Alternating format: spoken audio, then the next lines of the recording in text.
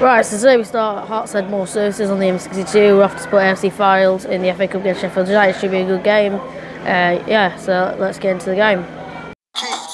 When sweat the technique.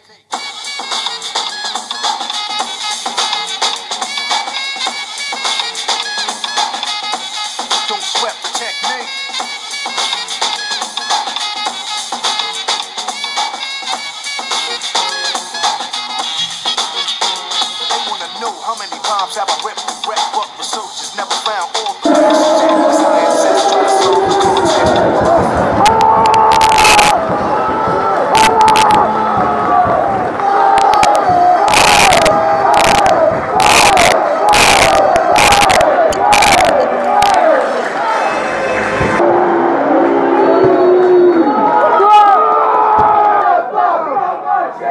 Go, go, go, go, go, go, 1 0 Sheffield here. Cal Robinson, former North End man with the goal very early on. It looks a uh, long back uh, away for Fylde. Right, so it's currently half time here. It's 1 0 Sheffield United. Callum Robinson, former North End man, with the goal. Uh, Sam Hornby, the Fylde goal, couldn't do anything about it. I think it took a little deflection. Uh, played well, they've had a few chances. Uh, Danny Rowe had a shot blocked.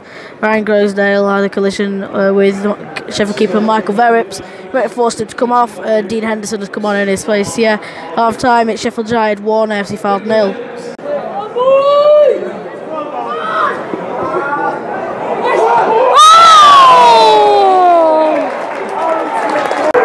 Two 0 Sheffield United. Leon Clarke with a with a follow up goal after a shot hit the post from Luke Freeman at the post. That's two 0 Sheffield United now. And we have an, uh, we have one back for Jordan Williams.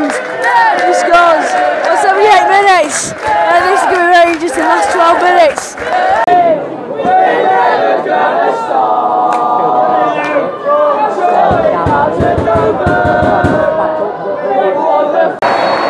And that's it for Fylde in the FA Cup. They're out third on stage after losing to Sheffield United. It's a shame.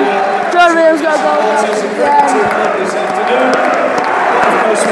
Great support, as per usual. I think, uh, yeah. They're, they're full time here at Sheffield United. It's finished Sheffield United 2, AFC Fylde 1.